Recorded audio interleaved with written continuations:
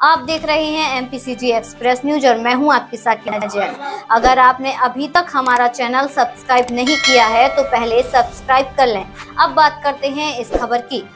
बक्सोहा में सरपंच संघ की बैठक हुई संपन्न। क्षेत्रीय विधायक को दिया मांग पत्र।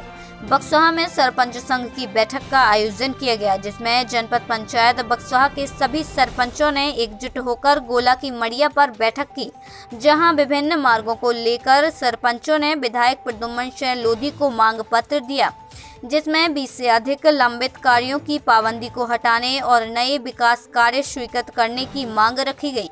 वहीं प्रतिदिन ऑनलाइन हाजिरी पर रोका लगाने, लंबित भुगतानों को शीघ्र कराए जाने रोज़गार सहायकों के स्थानांतरण करने की स्वीकृति दिए जाने और समय सीमा में मूल्यांकन कराए जाने की मांग की गई।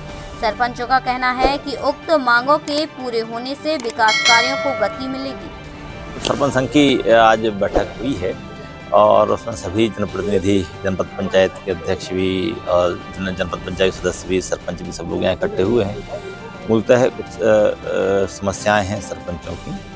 आ, उसके अंतर्गत बहुत से पंचायतों में कहीं जीआरएस की समस्या है, कहीं बहुत से काम खुले हैं तो सरपंच काम नहीं कर पा रहे हैं।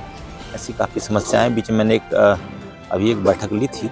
उसमें ये कहा था कि जो भी ऐसे काम हैं, जो लगातार बंद बंद होने की कगार पर उनको बंद करके तत्काल नए काम खोले जाएँ ताकि ग्राम पंचायत में नए काम शुरू हो सकें। सरपंचों ने सभी ने अपनी काम से संबंधित अपनी समस्या माननीय विधायक जी को अवगत कराया कि काम ज़्यादा अधिक होने के कारण सरपंचों के कोई भी काम नहीं खुले।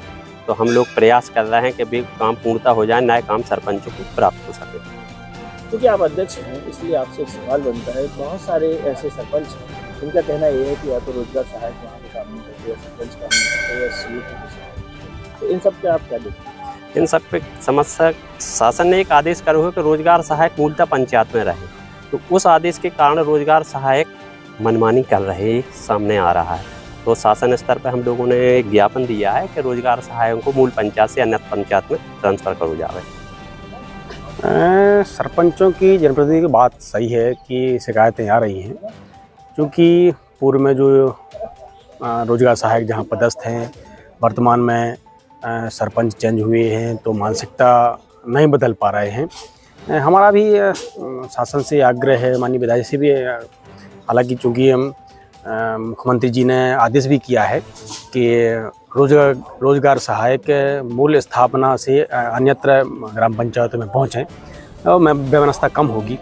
वो ज़्यादा बेहतर है कि सरपंच और रोज़गार सहायक सचिव का जो आपसी सामंजस्य बने और ग्रामीण लोगों को रोज़गार मिले और विकास की गति आगे बढ़े।